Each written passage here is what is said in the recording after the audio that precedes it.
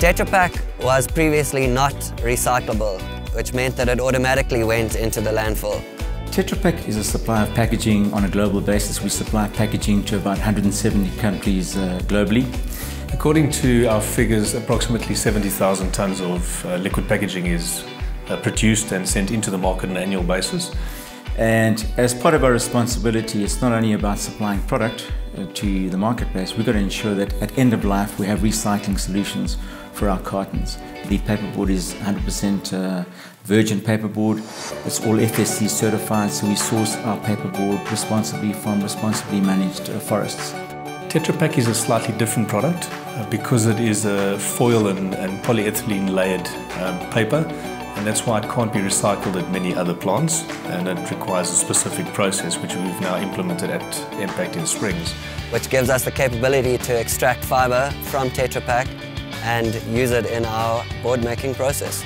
Um, at the moment, uh, we receive a lot of material through pre and post consumer sources, and the emphasis is going to be on collecting more from post consumer, um, from areas such as houses, from our curbside collections, and also from buyback centres and dealers across the country. I'm Jean Yusto, part of the Keep Hillcrest Beautiful Association.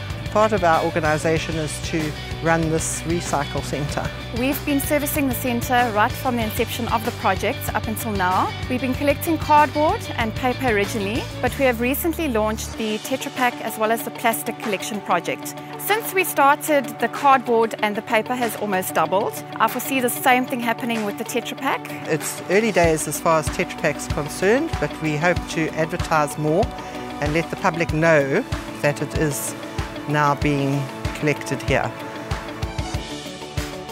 We're down here at the Linbro Park landfill.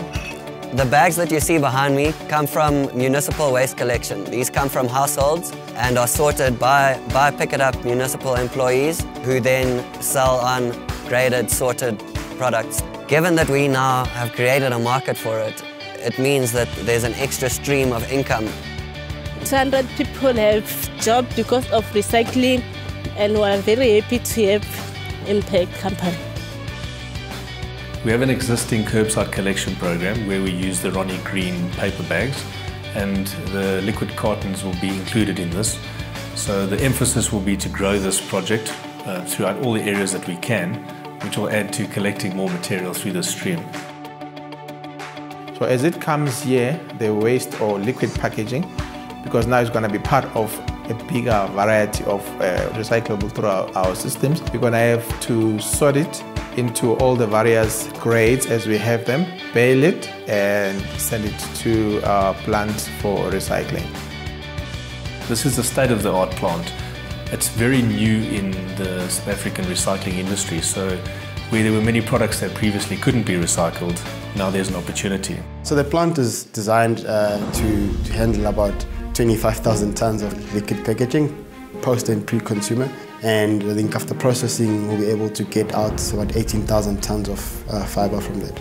The system works automatically to add the bales and water into the pulper and that runs on a sequence as well. That pulps out the poly-L and the and the foil out of the, of the fiber and then it gets separated into two streams.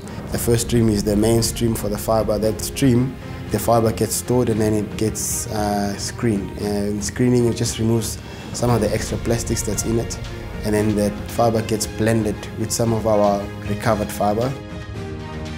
Now with Tetra Pak coming in, which is a whole lot of long fiber to actually uh, help out with, with, with, the short fibers that is created in the mill uh, to get us, give us better strength on, on the machine. For us, there's value in recovering fiber that, from products that wasn't previously recycled. And this is what happens to the recycled fiber. From the mill, it's supplied to us in big reels. We then put it through our processes and our machines. We make corrugated cartons and other corrugated products from this. We produce approximately 30,000 tons of corrugated products for various end users and we make use of predominantly recycled uh, papers from our Mpact mills current recycling rate is about 15%. So of the 50, just 55,000 tons that is available in the marketplace, we've been able to recycle just over 8,000 tons to date. So by, by recycling or through the Mpact initiative to recycle, we, we can save that, that landfill space. Uh, we see waste as, as an opportunity to add value to people's lives. So the fact that there is a demand for this type of waste through the facility that Mpact has now means that cartons will no longer be seen as a waste going purely into landfill. Uh, there'll be a lot of jobs being created downstream and it's really up, up to us to actually facilitate that and create awareness about that that cartons can be recycled. And uh, yes, we feel fantastic about the fact that it's adding value and changing lives downstream. Uh, I think I'm very proud of to be to be part of this project, to be part of Mpact.